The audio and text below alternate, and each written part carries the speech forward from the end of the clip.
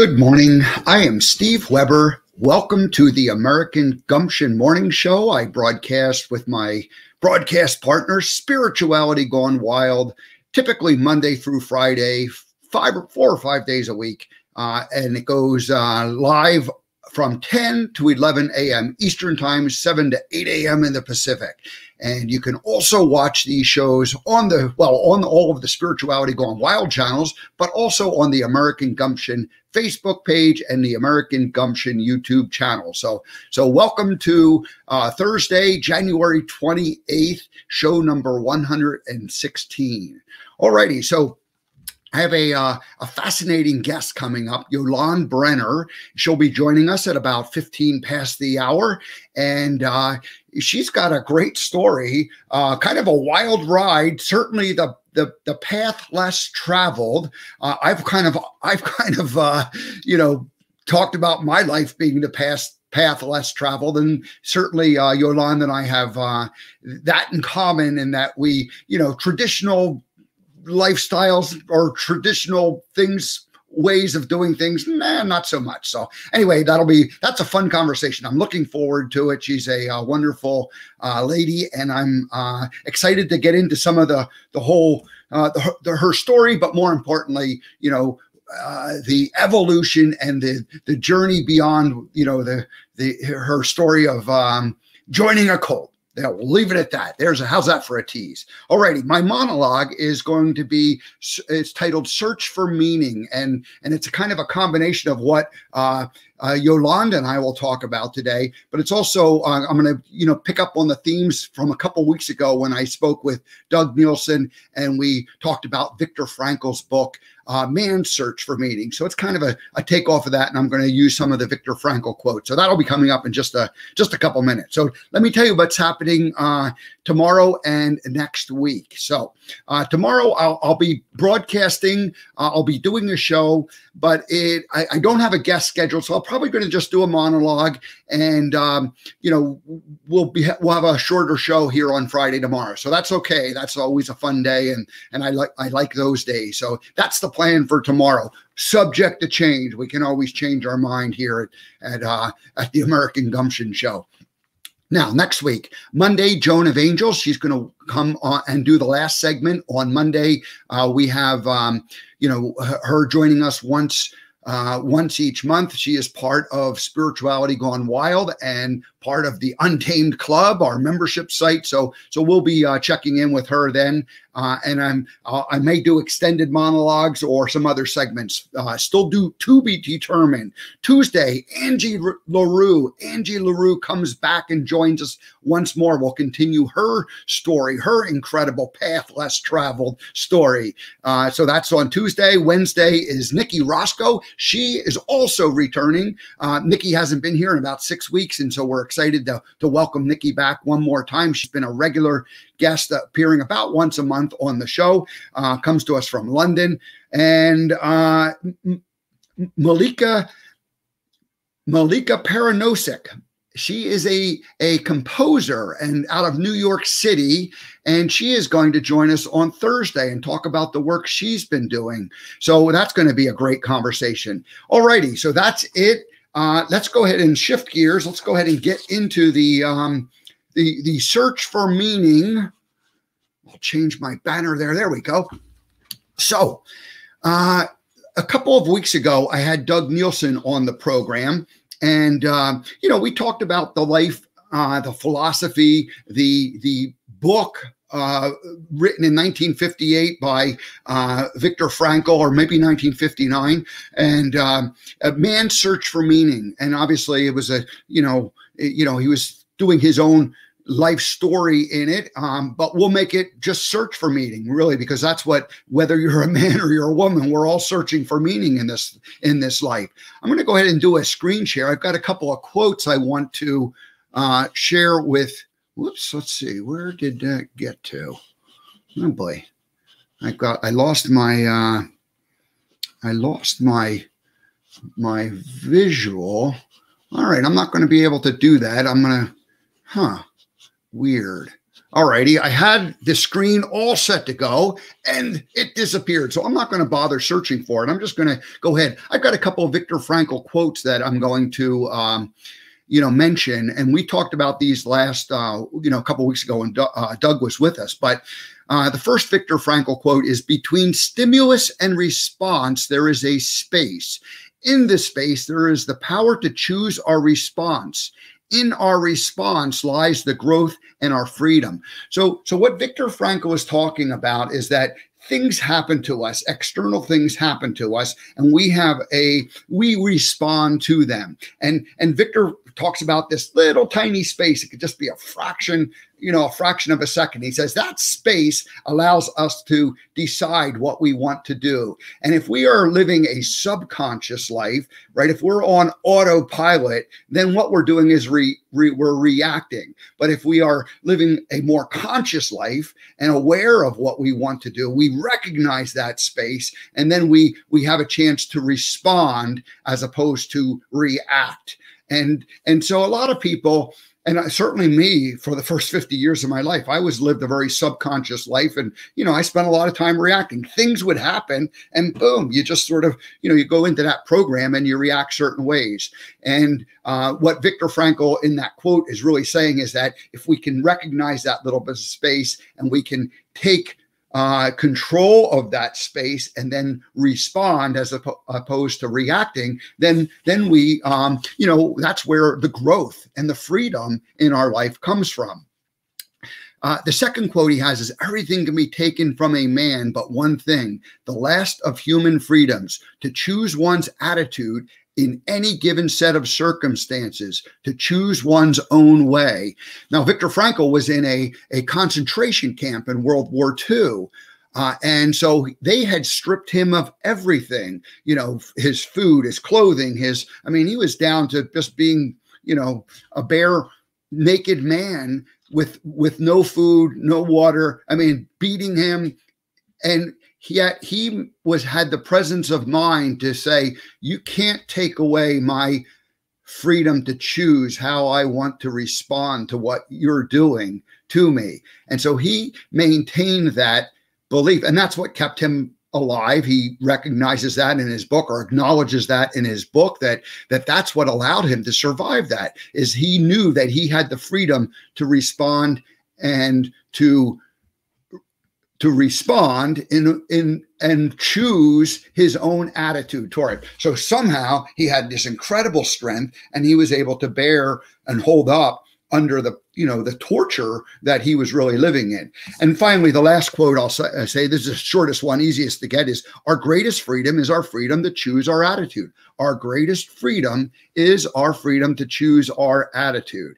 And um, yeah, so that's what Viktor was talking about. That's that response. That's that space where we get to choose how we want to respond, and in that space and in that choice becomes the the growth that we have in it. And so, uh, you know, there was a time when things would happen, and I'd get angry, and I'd get mad, and I'd lash out, and and I uh, I, I I like to think I'm past most of that but there's still you know every day is a challenge right every day is a day when you you know you have that choice to, to keep reacting or or to, to react to the stimulation that comes at us. So i i wanted to i you know i was inspired by the, the conversation i'm going to have with yolande coming up here in that you know, one of the th- ways that she describes herself is on her website is the asker of big questions the asker of big questions. I love that. Uh, you know, she, you know, she's she what she's searching for her own, uh,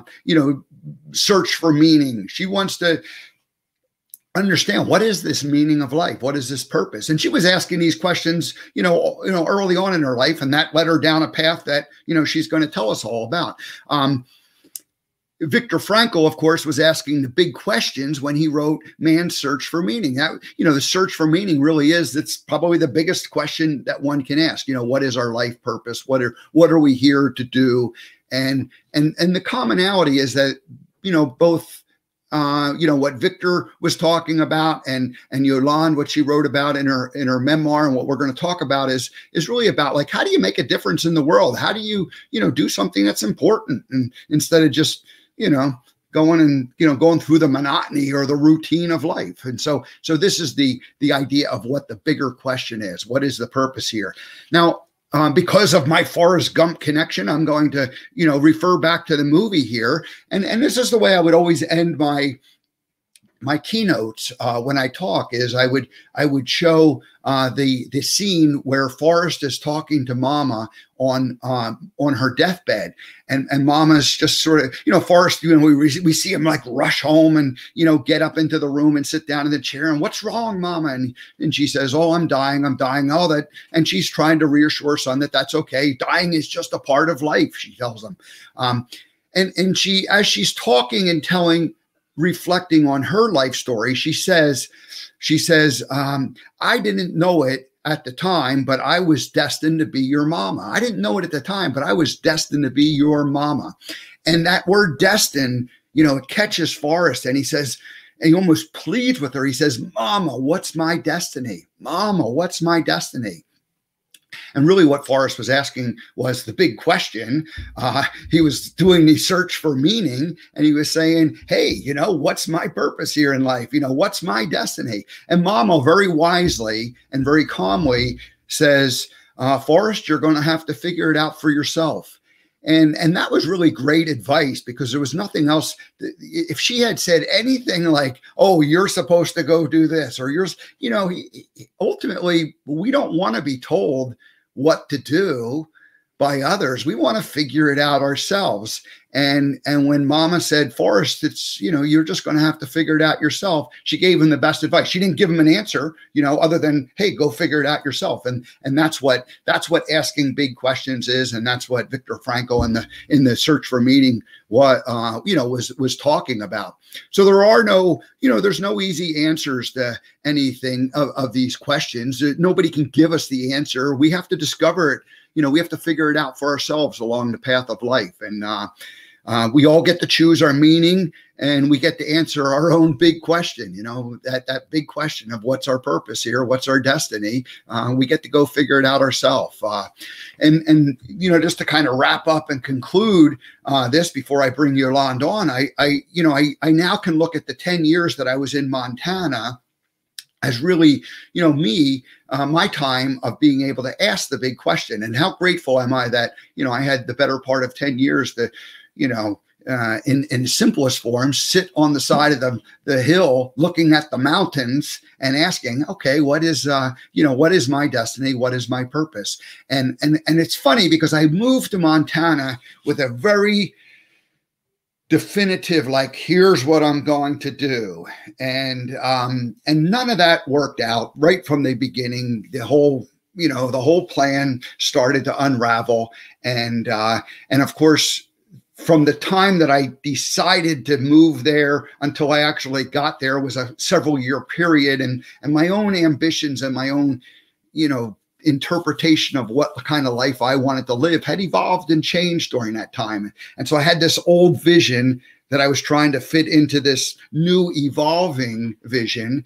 And and and then you know the the 2008 stock market, the housing crash, and you know everything you know kind of went haywire at that same time that I was in the the process of getting there and uh, reestablishing it. So all the plans that I had kind of went out the window right at that moment, and then I had to to come up with new ones. And and so fast forward 10 years later when i finally said i got i'm out of here and and it wasn't like i'm out of here like i can't take this place it was more like i was out of there because um, the work that i had come to do in montana was finished and and it, while i didn't i don't want to claim that you ever have it all figured out I had gotten to the point where I went, okay, the reason why I came here, the reason to sit here and stare at the mountain and figure out what my destiny is, you know, I had reached the, the conclusion, and and that's where I am with the American Gumption Project and out on the road, uh, you know, for the next couple of years. So so that all came, and and I remember the last thing I'll say about all of this is I remember telling a real good friend when I was uh, leaving, and it was kind of the only person that I I was a little nervous about telling because he was committed to the area, and uh, he had been my best friend and my, you know, advisor and you know just some a true confidant that that guided me throughout the the entire time that I was in Montana introduced me to people made me helped me become part of the community, and. Um, and so I told him that I was leaving, and he said, "Oh man," he was disappointed. And he said, "I feel like you're running away," and and I um, and I didn't say anything. I I allowed that little space that Viktor Frankl talked about, and I didn't say anything. Uh, and I recognized that he was just you know disappointed that um, you know, his friend was leaving. And so I, I didn't say anything. I went home and I thought about it and I was like, am I running away? And am I really running away from it? Am I giving up on this dream? And, and what I realized that is that, you know, the dream had kind of you know, 10 years earlier passed me by and I was living that last 10 years trying to, you know, figure out what to go do next as opposed to that dream. And and so the conclusion I came to was that no, I'm not running away. I'm running towards and running towards the American Gumption Project, which is what I'm out there doing now. And and that it just wasn't, you know, it, I wasn't able to get there to the American Gumption Project from from I wasn't ready. To, I wasn't able to get to where I wanted to go from there. So it was time to leave there and go back out into the world. So I was not running away. I was running towards, and and that was a great feeling because once you realize that you're running towards, you know, you're doing it with intention and purpose, uh, as opposed to uh, reaction and and hope, blind hope, blind faith. Alrighty, so that's that. Let's go ahead uh, and welcome uh, our guest. I see Yolanda is in the green room. I hope she's been enjoying the American Gumption snacks that we provided back there. Yolande Brener, welcome to the American Gumption Morning Show. Thank you. It's good to be here. So, Yolande, we have two little things that happen right when the when I welcome a new guest onto the show, and so hopefully you'll um, be a cooperative guest and allow me to do both of those things. Uh, the first one is I like to read a little bio and introduce people to who you are, and then I have a theme song that I play. Uh, and the theme song is called, coincidentally, the first time guest to the American Gumption Show theme song. So I will play that. Is that are, are you willing to go along with this? Absolutely. That sounds great. Alrighty. So so Yolande Brener is a writer, actress, singer, filmmaker, teacher, and author of her memoir, Holy Candy Why I Joined a Cult and Married a Stranger. Her search for love and meaning has led to unexpected places, adventures into the realms of relationships and this, the discovery of her own spirituality. Yolande has studied creative writing at City University of New York City College. She has an advanced certificate in filmmaking from Central St. Martin's and a BA in fine art and film filming from East London University. You are well educated.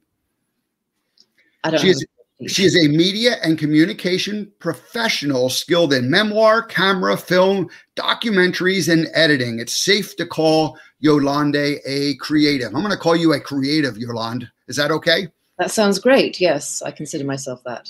And she also has a couple of day jobs. Yolande is an adjunct assistant professor and English lecturer at local New York City colleges. She is a freelance teleprompt teleprompter operator who has worked in broadcast television for 25 plus years. You know your way around the uh, back end of a broadcast studio. That's right. I see you've done some research there. and uh, uh, Yolanda also has two adult children and a lifetime, a lifetime of adventures along her path less traveled. I love that. You have done the path less traveled. So we have that in common. Uh, why go down the traditional path? That's kind of boring. Well, I think all paths are interesting as long as they're the ones you've chosen. And even if they're not, something good comes out of it. All righty. Well, very good. Well, we're going to get into all that. Yolande Brener, welcome to the American Gumption Morning Show. Let me go ahead and play this uh, theme song, and then we'll get into our conversation.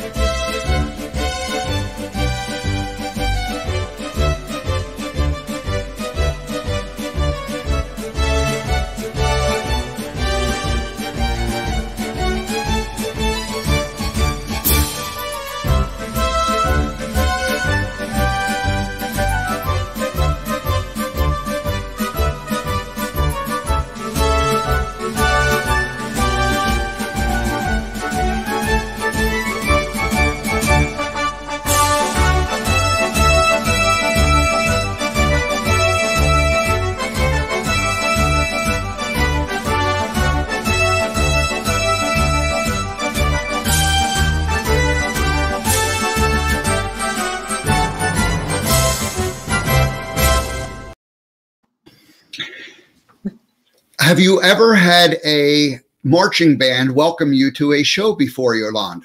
That is a first. Absolutely. Very nice. Thank you. All righty. Well, good. Well, welcome. We're glad that you're here. And uh, uh, we're gonna we, we're just gonna have a conversation. We're gonna talk a little bit about your, you know, we're gonna obviously start out with the, um, you know, the book, uh, your memoir, and you're really you're about, you know, almost 20 years past when this whole, you know, uh, we'll call it kind of crazy chapter of your life uh, went on. Um, so let's just go ahead and kind of start, you know, jump into the beginning of it. Um, you know, you're or, or somewhere around 1990, you're just finishing up at the university in London and you're, you know, you're at this point where you're like, I want to do something special in my life, but you're, you know, like like all of us or like many of us at certain points in time we go you know what is my purpose in life? What am i supposed to be doing here? And uh and you know you ended up meeting someone who you know introduced you to uh the, the unification church. I mean what happened back then? Where was your mindset and you know what was going on when that all began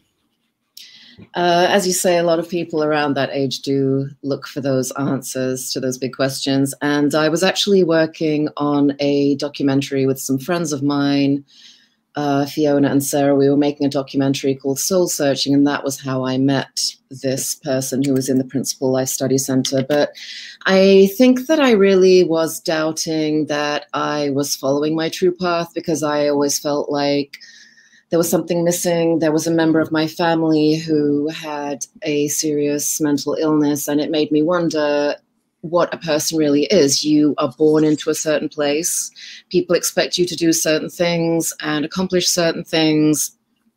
And I think there comes a point in everybody's life that when they wonder, is that really what I'm here to do? Uh, I guess you could call it a quarter life crisis, though. Some people talk about that when you're coming up to your mid 20s and you wonder, is this really the path that I'm supposed to be following?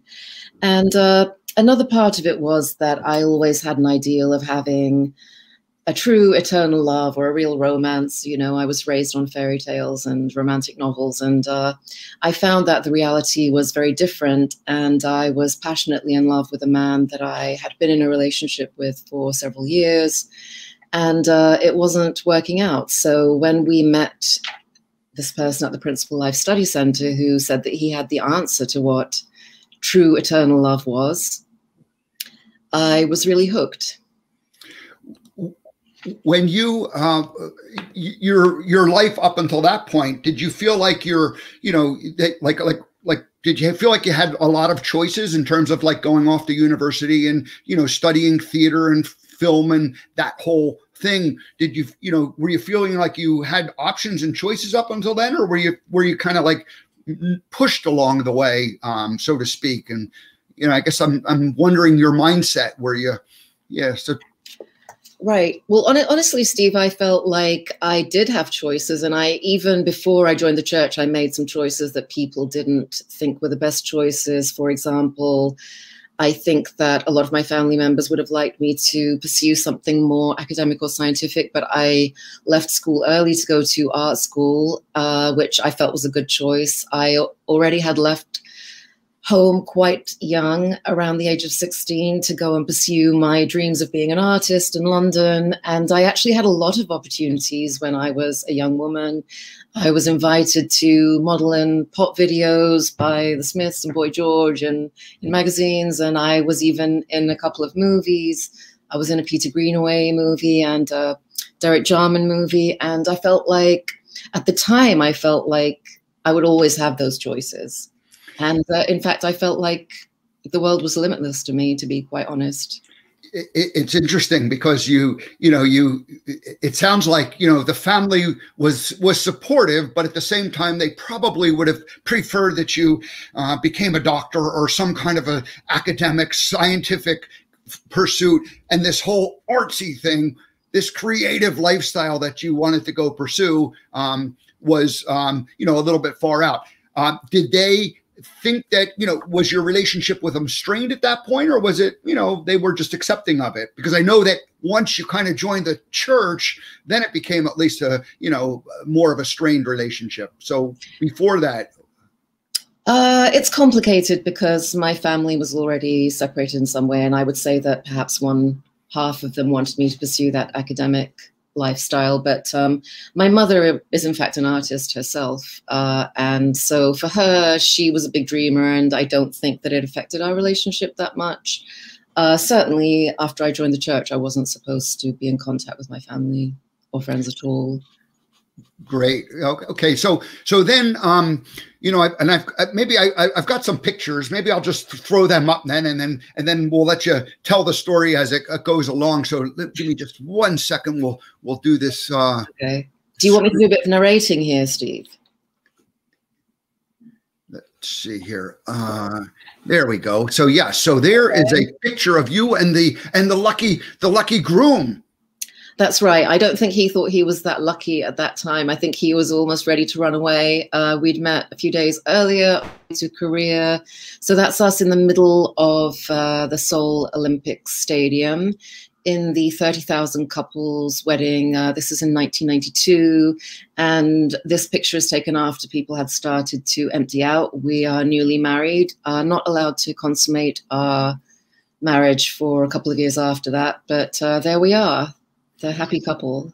I did not realize. I was thinking this took place in in the United States. I was thinking it was like Yankee Stadium or something. But they flew you all over to uh, to Korea to have the wedding. Absolutely, they did, and we stayed in the Olympic Stadium. Uh, where there was a dorm-like situation. Uh, there's the North American team, uh, the next picture you were showing. Um, this is the team of people that I spent most of my life with in the U.S. Uh, well, about half of the men and half of the women there. Uh, some people I was very close to. Uh, you know, day and night, we lived together, we slept together, we ate together, and uh, we're all newly married there to people that none of us know. And mm. and then, and then here's uh, you in a, a moment of uh, uh, joy on your wedding day. Right. Yes. There I am on my wedding day uh, in our matching dresses. We all had identical $100 dresses there. Uh, they weren't the most flattering, but uh, it made quite an effect on the floor. That's one of my good friends on my left that I spent a good deal of time with, and uh, her partner to my right. -huh. Uh, yes.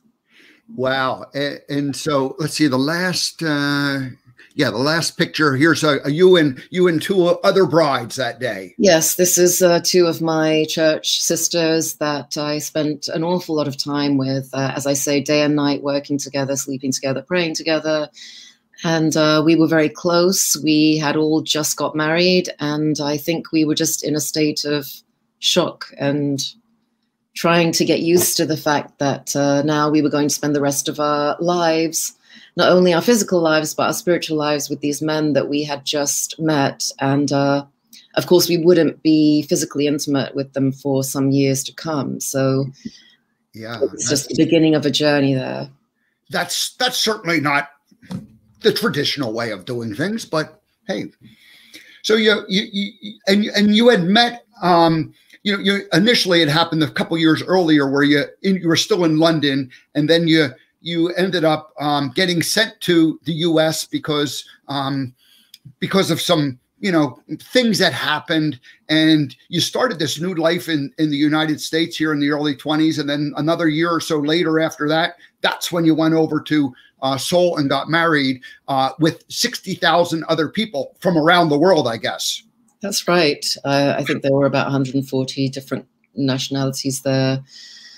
So, uh, yes, it had been a couple of years since I had joined the church when I went to the wedding. Um, and as you say, I was sent over from London. I joined in London. And of course, all of my close family members and friends were in London. I would say almost, you know, are my closest friends still there. And uh, so, because my ex boyfriend at the time was trying to kidnap me and uh, doing various damage to the uh, buildings, then uh, not only that, but I, I, think they made a decision that they America was the most important country in the world according to the church, and so we were sent here to do this mission. Wow, wow. So the, the, when you first got here to the U.S., I mean, what were you doing then um, before you went off and got married? I mean, what was your life like those first few months and, you know, when you got here? Uh, I, I, want to make this sound interesting, but honestly, my life in the church was a mixture of two things. One of them was begging for money and selling small items for money to give to the church that I would go out and do every day, and trying to get people to join the church. And uh, though that was what I did all day, every day, and uh, that was it. That was my life in the church. Here's a uh, let's see if I can. Here's a picture of. Uh, let's see if I can do this properly. There we go. Uh, this looks like a holiday party, but it also looks like maybe what you were doing on a daily basis, just like hanging out, like places, trying to draw up attention to you know to to the cause. Right. This was the Brooklyn Church Center uh, with some of my good friends there, my brothers. Uh, we were trying to draw people into these meetings. Uh, that they always had a different name. The Women's Federation for World Peace was, of course, a part of the Unification Church. And uh, we would provide food and bring people in from the neighborhood. And yeah, that was uh, one of the things that we did on a regular basis. Uh, there I am on a ch- at a church meeting. Uh, I'm on the right. That's one of the uh, higher members of the church. It's a little blurred there. yeah, and then here it looks like you're uh, you're you're preaching the good word. That's right. There I am preaching the good word, uh, trying to persuade people to join us. Uh, not doing a very good job, I think. and and here's your uh, you mentioned the peace uh, women's women's federation for world peace i mean hey who doesn't want to you know who doesn't want world peace i mean this all sounded like a good good cause and and worthy absolutely yeah that's right who doesn't want world peace and eternal true love but uh we we had good intentions yeah. So so um so you go and you get married and and I, 2 years pass and now you're allowed to consummate the marriage and then you have a couple of kids and and you're eh, you know this is all you're back in the you know you're back in New York living your life um and uh you know now you have these couple of young kids and and it sounded um like you your your husband you, you, know was more committed to the church at that point than you were and you became committed to these kids. I mean you said like, i'm i'm their mother. I need to raise these children properly and and it was more fun for you to raise your children than it was to do what the church wanted you to do. Is that a fair assessment? I would uh, say that I was committed to the church at that time, even though I wasn't as actively spending all day fundraising or witnessing. I still was dedicated to the church, dedicated to the marriage, and I absolutely had made my decision that I was going to stay in that marriage forever. Um, my husband had some other ideas about how we should live our life at one point. He moved us all to his hometown in Ecuador, and we uh, he wanted to set up um, own ministry there for the church, uh, which I found very difficult. Um, so I think that I was dedicated to the church, but of course it was more fun to spend time with my children. I didn't send my children to the church schools or the church daycare. I sent them to uh, public schools, and uh, at a certain point, my uh, ex husband now just decided that uh, it wasn't going the way that he wanted it to go. Mm. And uh, I'm not sure what how to define that in a in a useful way. right, right. Are, yeah. are, you still? I did not know about Ecuador. Uh, you, are living in uh, Quito or somewhere like that. Uh, we lived in a place called La Moya, which is in the mountains near Chimborazo, Okay. It's very beautiful. Uh, it was a big transition. It was a big change to make. It was a place where, at the time, there wasn't always clean water. We had to go and collect it from a running stream. Uh, there wasn't always electricity. There certainly wasn't telephone connection, things like that. So it was a big change for me. And uh, I think my son, who was only one at the time, didn't really think that much of it because he was so young, but my daughter, who was three, it was more difficult for her. because she was not used to that way of life. Uh, yeah. Uh, did Did you know any Spanish? Oh yes. Okay. Yes, I I was I was able to speak in Spanish. Very good. Uh, so, so were, when your husband decided that the marriage was over and now you're on your own with the kids, were you still living in uh, Ecuador at the time?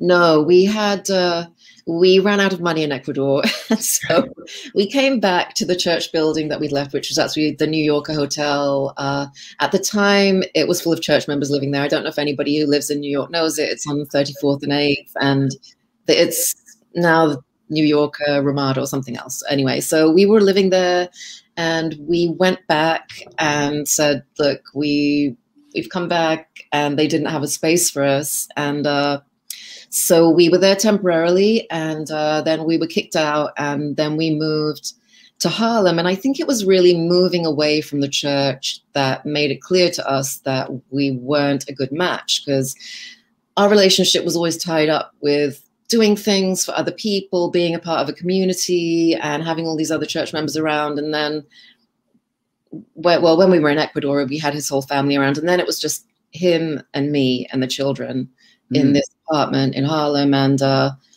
things did not last very long after that. All righty. Well, good. So I think um, thank you for sharing that part of it. Um, I don't want to dwell any more on that. I, but, but in terms of just you know talking about you know how does one reclaim their life and um, you know end up making decisions for themselves and and looking internally for the answers uh, it's kind of important that we you know, talked a little bit about that and laid it out. So thanks for your willingness to share it. And again, it's, you know, it's 20, 20 years ago when yeah. all plus when all this was happening. And so, um, you know, you're well past, you know, the delicate stage of like just reemerging from it.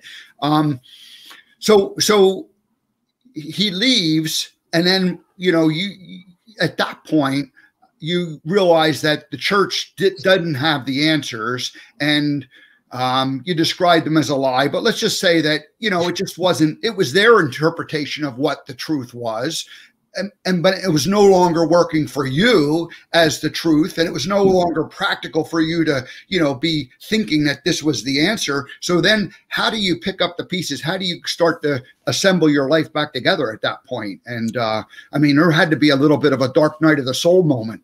Oh my goodness, I wish I had a really uplifting and great answer to this question. and, I, and I actually I should go back and look at that website because I say ask me questions, and I think that recently I may have come to the conclusion that there really aren't answers, set mm-hmm. answers. I think everybody can make their own answers.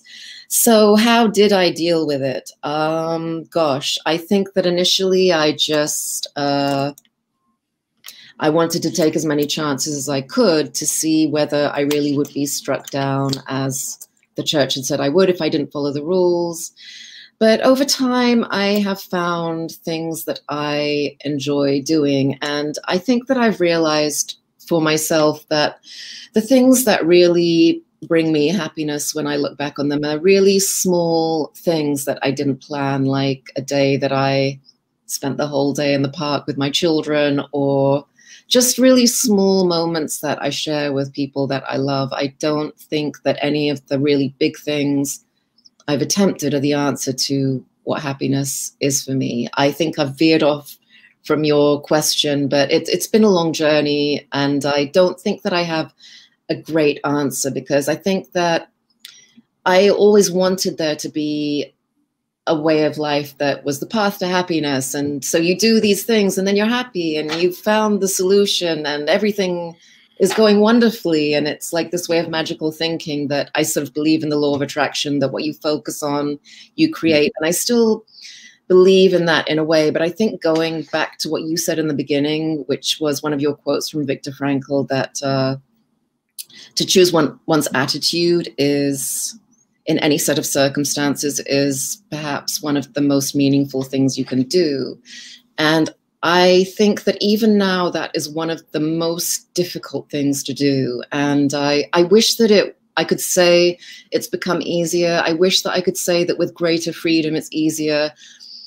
But I think that it's I'm always the same, whether I'm in a cult or whether I'm out, you know, whether I'm completely free. And uh, I think that it still comes down to whether I am choosing the way that I react to what happens, because there are always going to be some fantastic things that happen. And just, it seems like just when you've gotten used to a way of being, something always comes up and breaks it down for you. And, uh, so I think it just comes down to that. Like, how can you choose your attitude? How can you choose to be happy or choose to be content when you know that things are not necessarily going to work out the way that you want them to? I didn't give an answer to your question at all. I just went. Yeah, no, no, no. That's uh, it's um, it, it's a journey. So, so one of the the, the life lessons from the movie, uh, the, and really probably the most important one from the Forrest Gump movie, that of course I'm uh, a bit of an expert in. Uh, it said it's just a journey. It just keeps going, and you never get anywhere. And and the whole story of Forrest Gump is just his life. He just travels from from you know episode to episode to episode, and uh, and and I've used that teaching as a way of like we go through different chapters and we evolve to the next chapter and and then we learn to live in that chapter and then we evolve to the next chapter. And and of course in the movie uh, Forrest seamlessly moves from one chapter to the next. And in real life it's more difficult to move from one chapter to the next. And that's the challenge. That's the the part of being a human that uh, we are all dealing with and learning from I, I, think there might be some people out there who find it all very easy, and if so, I'd like to hear from them. But uh, I, yes, well, if you want to, if you have the answer, uh, Yolanda Yolande Brener, uh, YolandeBrener.com, you can easily reach out to her, just as I did, and and we we got connected, and we're having this conversation. So she's a, um, you know, please feel free to to reach out and visit Yolande's website. So there. We'll Thank you. Thank you. yeah. Yes, and um, it's it's funny that you talk about the different chapters because I actually really identified with one of the things you said earlier. That Forrest's mom said that her destiny was to have her children. I'm sorry, mm. I'm, gonna, I'm gonna feel sad here now because I feel like um, even because of the weird choices that I made, I had these two amazing children, mm-hmm. and I feel like that may be why I was felt so strongly that I wanted to do that, that I didn't listen to logic. I just did it. So I do feel in a way that my destiny was to have my children, but now my children are adults, they have their own lives. And it's something that you know is happening. And uh, if there are other people in the same situation who are listening, I'm, I'm sure they identify. You don't you don't think about the next chapter because then you have to recreate yourself again. And I think life is like that. You have to keep recreating what your purpose is. And uh, maybe you don't always know. so. No, and and the the big question uh, needs to keep being asked and and answered. You know, again as you get to each chapter, the the maybe it becomes easier um, but in you know maybe it doesn't. Maybe some you know we're faced with these challenges of just being human uh, day in and day out. And so each uh, and, and if we can look at the big I, I, I just liked your big big question. I mean that's really what it comes down to. If we can answer that it would be so much easier. If we knew that and and so anyway uh well, good. Um, hey, I've, I've got just a couple more pictures. We're going to do a little flashback here. Let's mm-hmm. do a mm-hmm. screen share one more time here. And you can just tell us about this chapter of your life. I guess this is the modeling, and it looks like uh, yep. Simon Costin's jewelry, a goth magazine. Tell us about that chapter of your life. uh, yeah, this is when I was uh, still studying and uh, so this is one of the things I got asked to model for. Uh, Simon Costin is an absolutely amazing uh, jewelry designer. He has works in the Victoria and Albert now. Um, and he invited me to do this photo shoot. Uh, it was just a lot of fun. Um, so that's what that was from. here's a, uh, here's another picture from that same uh, uh, looks oh, like yeah, same photo shoot. Photo. Yeah, yeah, I, I love his work. It is incredible. yeah you uh, and going back to that first picture i, I saw a video uh, your ha- hair was quite short there you kind of had the you kind of had the forrest gump haircut at that time i right i um i actually had had uh long hair, and uh, my boyfriend at the time had this idea to shave it off. He actually shaved it off um, for a Smiths video that I was also in. Um, at the time, uh, I was living in this big Victorian house in Guilford Street in London, and uh, Simon Costin was one of the people who lived there. There were loads of artists and designers, and it was just uh, actually a really exciting time. Uh, yeah, I think I, think I even saw a uh, video on your website uh, where um, it was a Boy George video, and you were one of the dancing extras or something. Right. I don't think that video is widely seen, but um, I, I, was in that video that was made by John Maybury, who was an absolutely incredible filmmaker. Also, uh, he was a part of that group in London at the time. Um, yeah, so that was that was another fun thing that I did. Uh, now, is, uh, is, this uh, this this picture and then and then and this one here? Is this an, uh, another modeling shoot? But is this at that same time? Is this still back in London? Right, that's at the same time, and um, this is a photo shoot for uh, Alastair Thain, who is an amazing photographer uh, for Ectomorph magazine. I forget who the designer was. Uh, I believe these photos were actually taken I'm not sure, but I think they were taken in Guilford Street. Uh, hmm. Yeah, so that was what that was for. And the last picture I have here, here's a, a colorful. You were a, a bit of a clown uh, uh, makeup on. Right. Uh, well, I didn't do that makeup. That was a makeup artist who decided to do that. Um, I forget what magazine that was for, but uh, yeah, that was a photo shoot. All right. Well, yeah. well uh, fun fun times um, back in the in the early days. Uh, yes. So you're, so you're this creative, and then and you're searching for the meaning. You go off and you end up getting married. You have these kids. Your destiny. Uh, now the kids are grown up. I mean, the last couple of years you've been teaching English, uh, uh, creative writing. I'm assuming. Uh, yes, I teach uh, English composition, English literature, uh, writing for the humanities, and uh, yeah, I that's what I teach, and uh, I love it. I absolutely love teaching. I get so much inspiration from my students. They keep me in touch with uh, latest trends, and uh, yeah, it's uh, it really gives me a lot of joy teaching. You, you know, I often hear parents talk about uh, that they're they're uh, their children become some of their best teachers. Uh, and what you just said about your students, I'm assuming that the students become the teacher's teacher. They teach me so much. I honestly have found that my students are so caring as people. Uh, they're so considerate of each other. They're really ambitious and uh, just very genuine. And I'm always moved by how pure they are and just how much love they show to each other. And even you know to me as an instructor they're very considerate to me and I, I i, love their ideas. They always are coming up with fresh ideas and they have such a great perspective on life even though they're all going through this really difficult situation of learning online and not meeting their peers in person they've found a way to make the online community really vibrant and supportive. So I, I appreciate them immensely.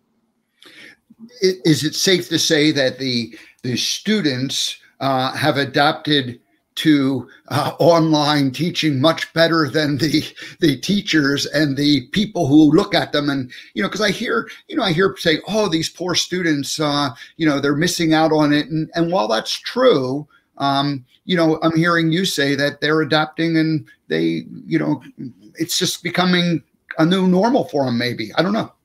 I think I'm trying to look at the positive of it, but also they do tell me that they are suffering from anxiety, many, many mm-hmm. of them. And I, I know that they miss meeting in person. And I think that they also, of course, are suffering from not having that human face to face connection in real life but I, I think they're very dealing with it in a very positive way and I have a lot of hope for them. In this past year, uh, like like go back to March a year ago, uh, were you in the middle of a semester or in a teaching period, and suddenly you had to shift instantly to on? did, did is that the way it worked for you? Yes, uh, yes. So I was in uh, in the middle of March. I was teaching face to face in a classroom in a couple of classrooms, uh, and I was also working uh, at CBS. And everything happened in one week because in one week in March, a couple of people at the place where I worked uh, were tested positive, and I, at the time I didn't take it that seriously. Honestly, I didn't really know how serious it was going to become. And I just couldn't really believe it when we were sent home and told that we would not be there indefinitely. And uh, the same with the college. So we all had to shift to teaching online very quickly. Luckily, I had already done some online teaching, so I felt somewhat prepared. But I know that a lot of people were not prepared. And uh, I didn't find it too difficult of a transition, honestly, but uh, definitely it wasn't what I expected.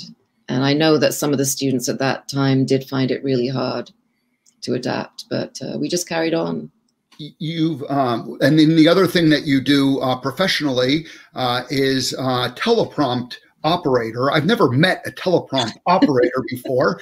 Um, and maybe, you know, just tell us what that's like for people who wonder, well, what, you know, we have an image of what that would be like, but what does a teleprompt operator do? How does it? How okay. Does it it's an interesting job. So a teleprompter operator really uh, just scrolls the script for the news uh, readers, for any kind of talent for a talk show or a sports show. And uh, I got into the job almost by accident because uh, although I did study film and television, my uh, I, the the Unification Church had a television studio that they started uh, around 1991 in the New Yorker Hotel. Um, it was under the guise of Manhattan Center. And so they had a 24 hour news talk television show. And uh, at the time, they asked me to do it because I had some experience of TV and also I was a good typist. And I, I didn't intend to do it. But uh,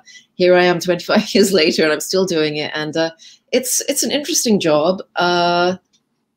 It's fairly straightforward, but uh, it's uh, it is a skill. People don't think about it, but as a teleprompter operator, you have to be able to really focus in a very hectic environment, uh, focus on what's important, which is what the producers want, how they want the show to go, and what the talent themselves are thinking and heading to next. And you almost have to be a bit of a mind reader to know what's going to happen next sometimes in a live situation. But uh, yeah, that's what a teleprompter operator does. Yeah, one of the things that I've I've heard, um, and and this is more like from a political um, environment where you know you have the candidate who's who's talking you know the operator needs to be able to speed up or slow down depending on you know the pace that the but there's no like like like there's never any like hey can you hurry that up a little bit or can you slow that down a little bit? It just has to happen kind of like on that mind sync and you need to i mean i, I guess if you get to know that the talent or and you get to know the producers and you understand what they are thinking then it becomes a bit easier. But otherwise i imagine it's a bit hectic.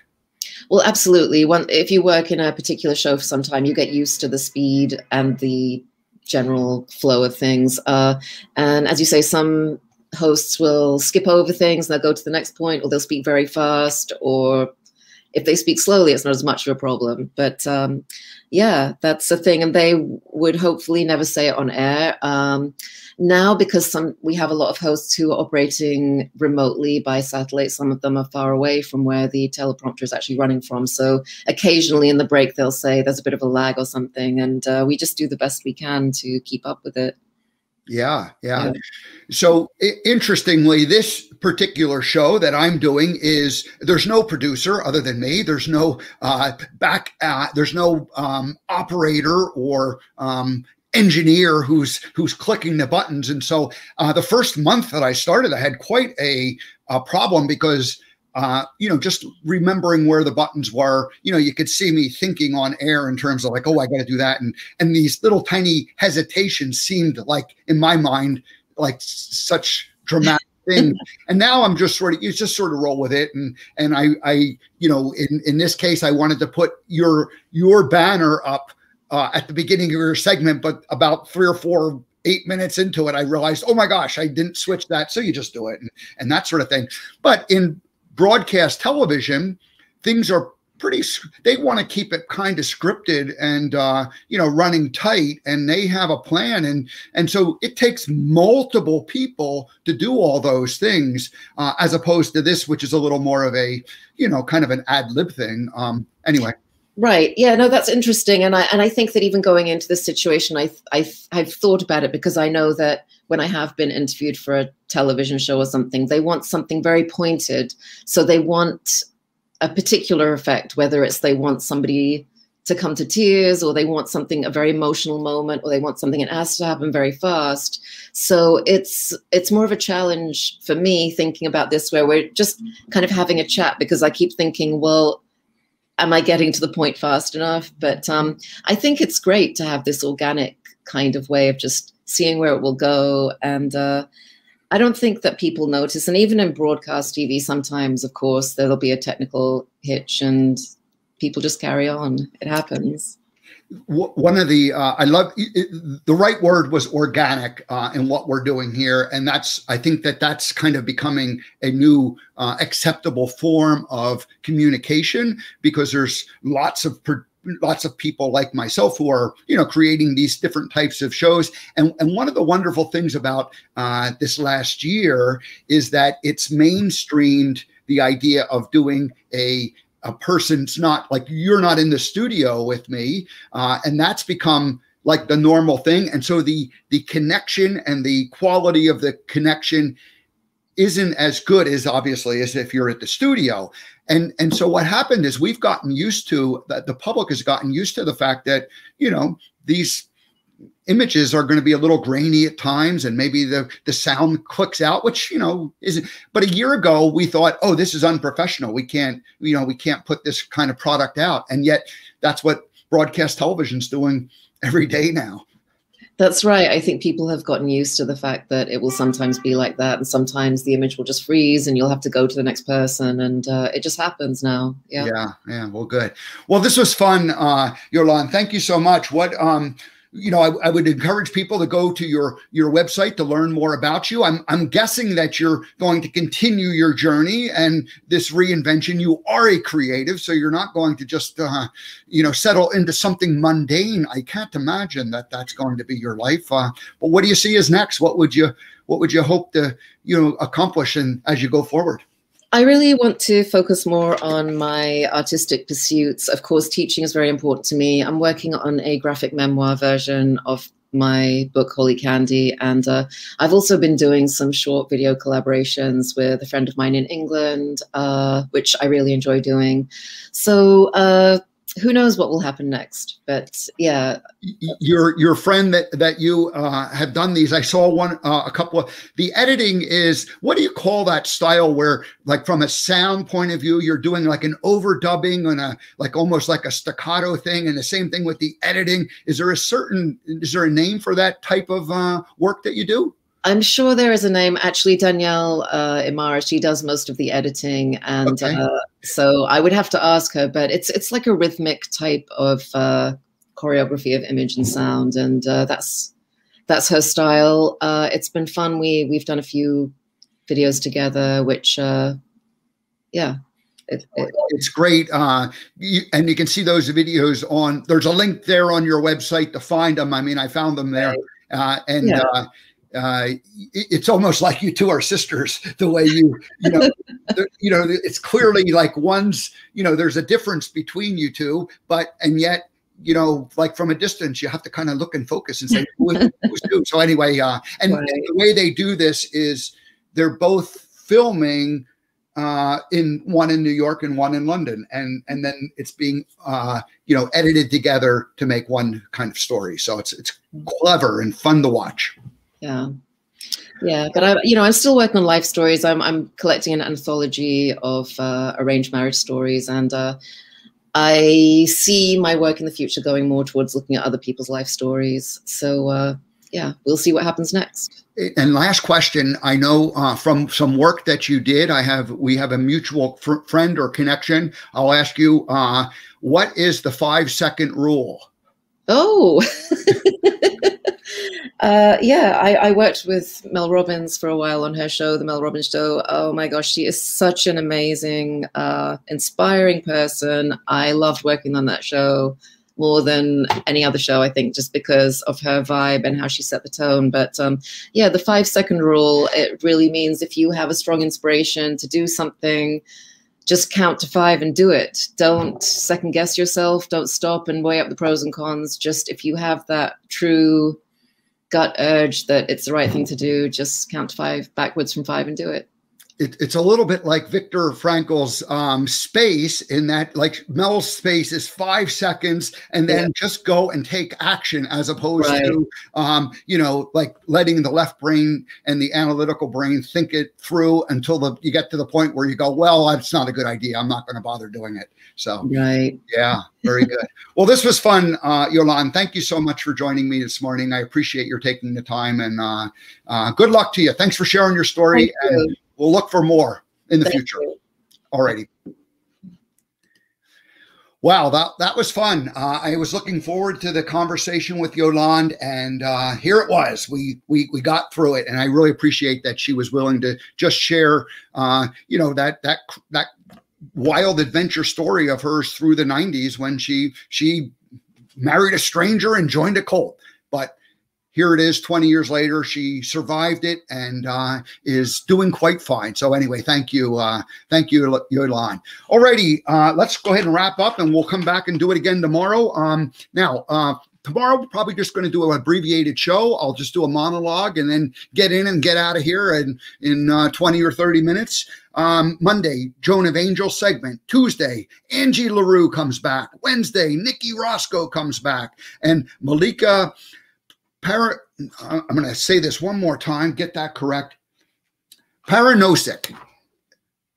Malika Paranosik. She is a composer living in New York City, and I'm looking forward to speaking her with her next Thursday, one week from today. Alrighty, everybody, that's it. Have a great rest of your Thursday. Uh, thank you, Yolande, for joining us today, and we'll uh, come back and we'll do it tomorrow. See you guys tomorrow.